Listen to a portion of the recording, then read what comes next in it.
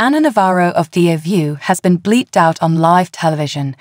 Her fellow hostesses lowered their heads and gawked at Ana with terror. The View hosts discussed on Friday's episode how President Joe Biden is facing criticism for his use of salty language when discussing former President Donald Trump in private. Following the presentation of a president clip, Joy Behar declared that, in her opinion, using bad language keeps you young. She remarked, That's just my opinion. Joy81 invited her co host to continue the conversation after she questioned whether Biden should use his terminology more often while running for office. The first person to speak up was 52 year old Ana, who claimed to have seen Biden at a recent Miami, Florida event.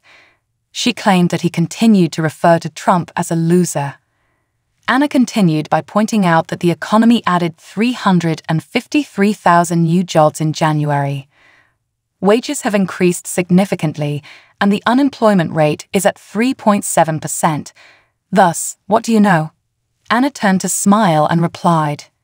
She hesitated, glancing at the camera and considering whether to continue. That is a big, she said.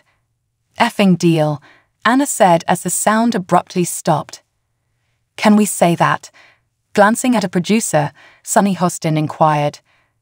As the other hosts remained silent and was somewhat taken aback by Ana's remarks, Alyssa Farah Griffin lowered her head and covered her face.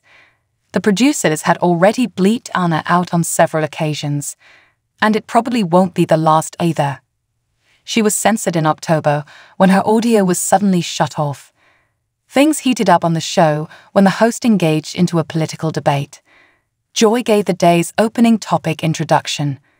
She stated, President Biden just returned from Israel and spoke to the nation last night to outline the issues that are at stake both at home and in the Middle East.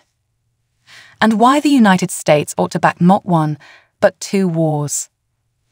After a snippet of Biden's address aired, Joy handed the mic to her fellow hosts. Do you believe he achieved any goals with the speech then? Did it help you at all? she questioned.